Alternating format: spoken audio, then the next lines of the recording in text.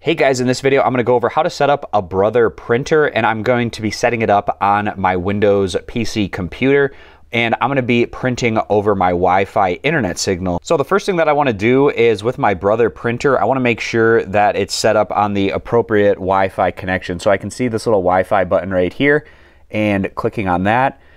And I'm gonna be doing the setup wizard. Then it's going to search for Wi-Fi routers in your general vicinity. For me, I'm setting up on ASUS 22, so I'm going to click on that and then click OK. And then I'm going to enter in my Wi-Fi password and then click OK. And as long as I enter in that password correctly, it should connect up. So I'm going to click OK. So now my brother printer is set up on my Wi-Fi connection. So now I'm going to be able to print over Wi-Fi with my computer. So the next step, I'm going to take you over to my computer to set up that part of the process. So now over on my Windows computer, I need to make sure I know which model number my brother printer is, and I can find that information either on the printer itself or from the purchase page that I had got it from Amazon. So I'm going to copy down this model number right here. This is going to be helpful when figuring out which software and drivers that you're going to need on your computer to set things up.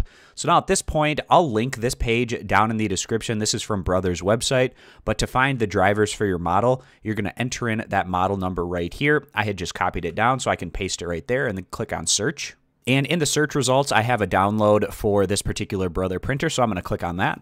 And for me, I'm on Windows and I'm going to be doing this on Windows 11. So then I'm going to click OK.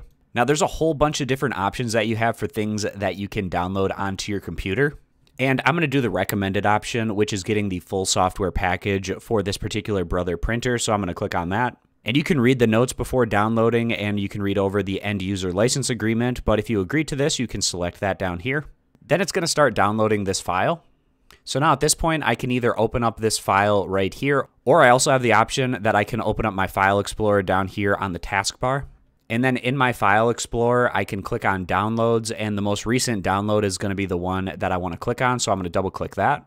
And this is going to take us through the download and installation process. So this is going to download and install the Brother software, and now we need to go through this menu process, so I need to select language, for me, English, and then click Next and then reading over the license agreement. And if I accept, I can check this box and then click next.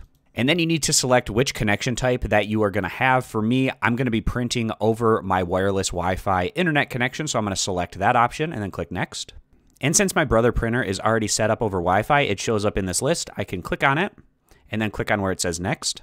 And you can either do the standard installation, which is recommended, or you can do custom. For me personally, I'm going to do custom because I'm going to uncheck some of these boxes. So I don't want the software update notification.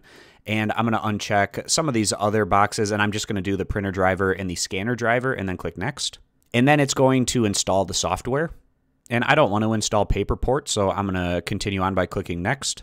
And it says your software installation is complete. Your machine is ready to use. So now I'm going to click finish. So now at this point in time, we should be good to go to print. So I have something that I need to print out. So I'm going to see if it's set up and working.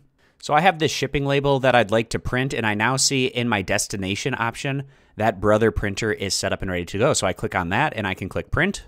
And it successfully printed the document. So I hope this video was helpful walking you through the step-by-step -step process on how to set up your Brother printer and doing so over a Wi-Fi internet connection. I appreciate you guys stopping by. Consider subscribing to the YouTube channel and I'll see you back here next time.